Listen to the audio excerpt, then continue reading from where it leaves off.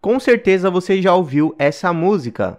Now this is a story all about how my life got flipped, turned upside down. Um dos grandes clássicos dos anos 90, O Maluco no Pedaço não só lançou a carreira de Will Smith, que era apenas conhecido como um rapper, mas trouxe um leque de personagens inesquecíveis. A série ficou no ar por 148 episódios, entre 1990 e 1996, e foi reprisado diversas vezes na TV brasileira, que tornou um clássico nostálgico por aqui para toda uma geração. E hoje eu vou listar 10 dos personagens icônicos desta série, começando, é claro, por Will Smith. Todo mundo sabe que Will seguiu uma carreira brilhante brilhante e muito lucrativa após o final da série.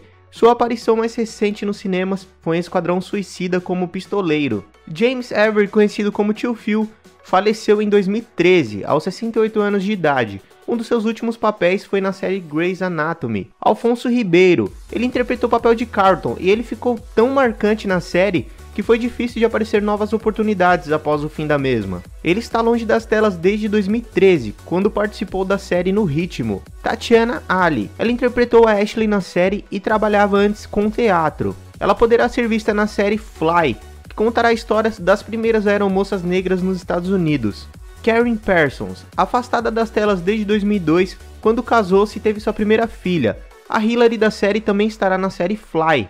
Joseph Marcel, o mordomo Joffrey, continua seu papel, porém fora das telas e sim nos teatros, onde ele costuma ganhar bastante elogios da crítica. Janet Hubbard. Nas três primeiras temporadas, ela foi Vivian Banks. Após algumas divergências com a emissora, a afastaram do papel e ela estreou a novela Only Life to Live até 2010. Daphne Haid foi ela quem assumiu o papel de Tia Vivian. Seu papel mais famoso depois disso foi na sitcom Alfinetadas, exibido entre 2000 e 2003. Ross Bagley, o Nick da série, atualmente estuda para se tornar produtor de cinema. Ele estreou outras produções quando criança, incluindo Os Batutinhas. E para finalizar, o DJ Jazz Jeff. O papel de Jazz na série foi único na carreira desse músico, que continua fazendo shows lotados por aí.